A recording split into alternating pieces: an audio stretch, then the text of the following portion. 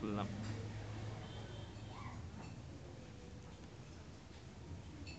Gimana Mas Hafid? Menurut Mas Hafid sosok Mbak seperti apa? Selama yang Mas Habib ini Selama yang Mas Habib tahu Mbak seperti apa? Eh? Jawab. Kenapa? Ya bisa jawab. Kenapa? Istilahnya untuk membimbing Mas Abid itu gimana? Kan Mas Abid yang paling dekat lah dengan beliau. Ya yang membimbing luar dan dalam gitu.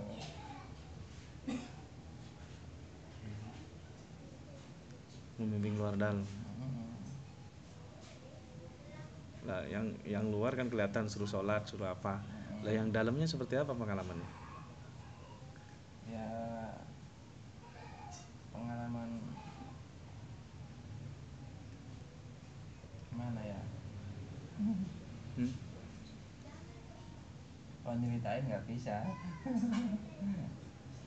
Maksudnya istilahnya bisa pas ada masalah gitu langsung tahu atau beliau tahu atau gimana? Dia tahu biasanya. Kalau ada masalah dia tahu. Gak usah ngomong itu tahu biasanya. Gini gini kau gini itu biasanya gitu. Suruh mencatat.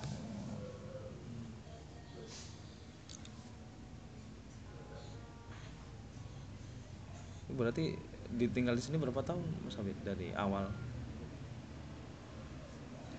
dari awal di sini Hmm. Kalau dari awal yang netap di sini ya mulai 2000 berapa ya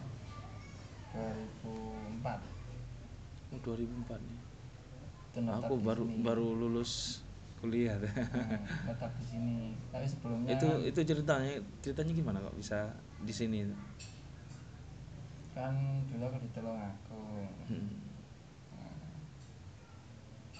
kan mondok di sana sih Hmm. Liburan sini kan mulainya itu 2007 Hmm. libur di sana sini Ya.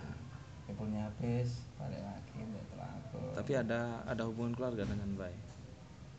kebetulan ponannya itu Mas ponannya Mbak Muti itu dinikahi Mas itu loh Hmm. Mas aku lah Mas aku dulu juga ikut sini Hmm. yang mondok di PA itu Hmm. ya gitu namanya ya kan Mas nikah terus saya suruh ke sini itu tahun Hmm.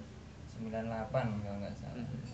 Mas nikah terus suruh di sini Berarti sampai sini 2000 dari 2004 sampai 2014 ya. hmm. Nah, gimana di sini nggak merasa bosan atau gimana? enggak saya enggak Apa yang membuat tidak bosan di sini? ya itu nggak tahu Iya. karena ada beliau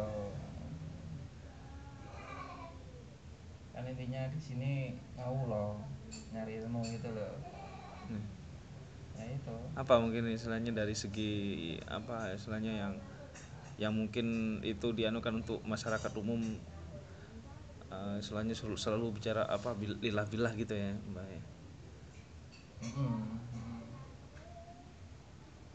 su- disuruh Hmm. kalau intinya di sini itu ya disuruh belajar bersabar gitu ya biasanya Hmm. untuk mengenal Allah itu disuruh bersabar gitu Hmm. Tapi tahu ya misalkan orang-orang ke sini eh, istilahnya bawa masalah masing-masing, gitu tanggapannya Mbah gimana? Apakah eh, apa dibuat seperti apa ya? Semacam eh, orang tidak tersinggung kan istilahnya seakan-akan di, di kita anu ke sana tapi Nah, Ah, enggak enggak kan. tersinggung biasanya Nah. semua banyak masalah masalah ini lah masalah itu masalah itulah gitu.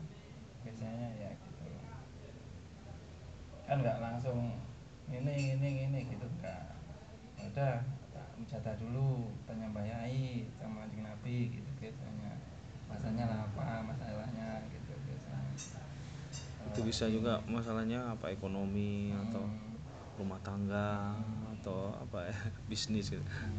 Oh gitu banyak ya banyak. Tapi istilahnya sama bayi solusinya langsung suruh mujadah atau? Hmm, ayo mujadah bareng-bareng. Ntar Mbak Yai atau kajian Nabi anunya gimana gitu. Kalau kalau anu solusi biasanya gitu. Oh solusi. semacam ada istiharoh ini. Nah, disetelah itu biasanya gitu. Yang paling baik tidak suka apa ya selama di sini? Orang malas biasanya. Males? Iya. males apa? Males kerja males ya malas mujadah ya malas kerja ya malas biasanya. Oh itu itu paling paling tidak suka ya? Biasanya. Ya enggak kan bilangnya enggak aku gak seneng ini gak seneng nggak gitu. Eh, cuma cara anunya gimana? Cara menyampaikan bahwa nggak seneng? Sindiran biasanya. Pakai sindiran orang lain yang di anu gitu. Nggak langsung ditegur anu biasanya. Oh tapi kita paham ya apa Nah, maksudnya ya. kalau tapi kalau nggak nggak sering ke sini juga nggak paham biasanya. Kalau itu nyindir saya gitu nggak paham. Hmm, kalau tamu yang jarang ke sini itu kalau disindir itu nggak paham biasanya hmm, tapi kalau udah sering ke sini mbah ngomongin orang biasanya orangnya itu kesindir gitu biasanya. Hmm, biasanya gitu nggak langsung hmm, kamu harus gini gini nggak langsung gitu biasanya. Hmm. oh itu ya. Jadi kalau misalkan baik tidak ada gimana nanti? Nah itu dia bingungnya gantinya itu siapa? Masih belum.